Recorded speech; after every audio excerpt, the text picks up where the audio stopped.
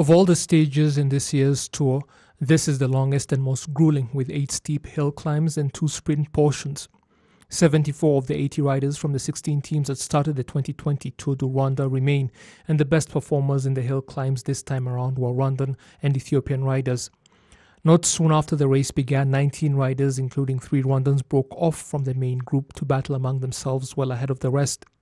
Halfway through, another group would emerge from that one, leaving behind the yellow jersey holder by three and a half seconds. By the 150 kilometer mark, only 12 of the original 19 that had broken away remained at the front, but the three Rwandans stayed with them, and the Eritrean riders in that pack fought hard to remain ahead in attempts to protect their teammate who had been left behind with the yellow jersey.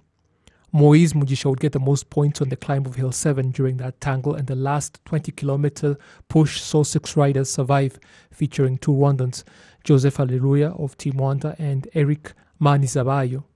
That small group put a gap of 2 minutes and 35 seconds between them and the closest riders behind them.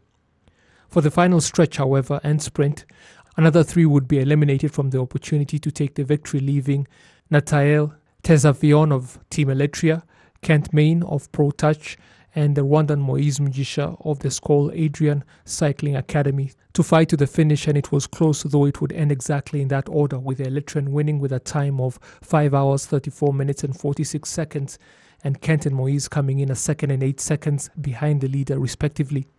Two more Rwandan riders would finish in the top 10, and they now believe there is much room for improvement after this latest leg. Tomorrow we must fight. Though we cannot predict the future, we must keep pushing for the sake of our Rwandan pride. It's difficult to say that we will win the stage, but that is our objective. We will know once we are on the road tomorrow, but we are ready to win.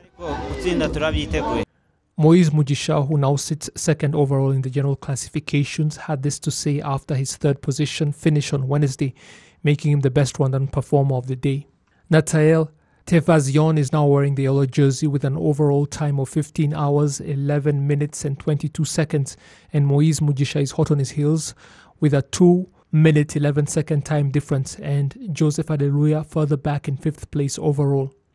Fans too have been expressing excitement for the remaining stages, saying Rwandan riders still have the potential to win this. On Thursday, the riders will leave Rubavu heading for Musanze.